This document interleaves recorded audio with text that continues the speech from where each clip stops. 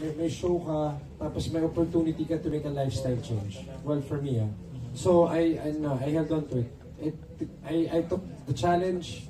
Kasama, kasabay nung pagtanggap ko ng role, tinanggap ko na rin yung challenge na maging triathlete. So, at least niya si Direk, hindi na mahirapan ng daya. Oo nga no.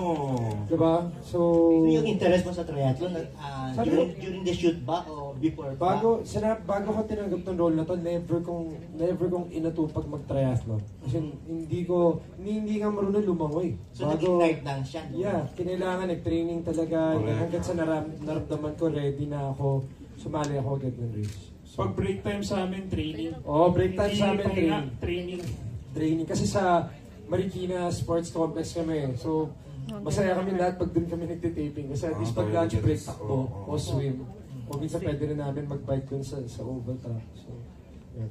Je, pra, tama ba? Prior to the offer, you were into you were into triathlon. Na, Ha? nakakaano din eh, grabing coincidence din kasi ah, bago po in-offer sa akin itong show, nakapag-triathlon ng isang beses. And then once nung na-cross ko yung finish line, sinabi ko sa sarili ko na ito yung gusto, gusto ko i-share to sa mga kaibigan ko. Itong feeling na to na may fulfillment, meron kang challenge at tinapos mo yung challenge na yan. Kaya nung in-offer po sa akin, umuha agad ako. Kasi ito po yung pakiramdam ng na gusto ko i-share, gusto ko i-inspire sa mga tao. Eh, ba, tulad po nung nag-LA Marathon ako, eh, hindi ko po siya ipagpapalit sa kahit anong pakiramdam eh, nung, yung fulfillment na yan. And sobrang happy ako na meron akong platform, merong chance para may, makapag-inspire ng ibang tao. At itong sport nito, hindi mo pa dayain. Hindi niyo po pwedeng dayain. Okay. How about Slim? Sing, kaya interesting yung ano mo ha, pag-develop mo ng interest mo sa triathlon, di ba? Opo, ano, yun nga sa mga Instagram post ko, yung mga comment nga sinasabi, Uy, ano nangyari from kimi-kimi, kikay-kikay, gano'n, naging, Oo. bigla kang naging ganito.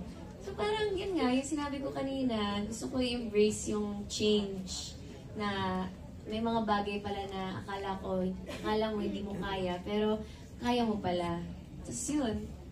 And then, parang nakaka-happy lang. Parang pag, ako kasi gusto ko yung medal.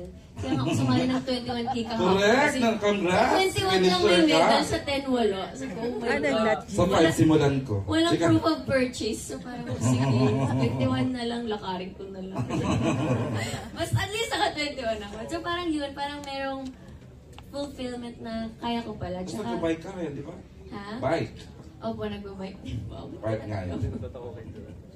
Naghanap siya ng medal ka. Kita po yung nakasombrero yung kulay, nakasombrero ng kulay green, tinanggal niya. Kasama po sa 10k run kahapon. Eh, dun sa race, 21, Jalal? 20, si Jalal, si 21k lang po may, may medal. So yung kasama ko, akala na may medal siya, lapit siya na lapit sa mga tao. Saan po yung medal ko? Saan po yung na medal? tinakaw niya. 10k lang. so nagkahanap siya raw, yan, tinanggal yung sombrero niya. Pero siya po yun. Si Jalal po, isa sa mga katiwala.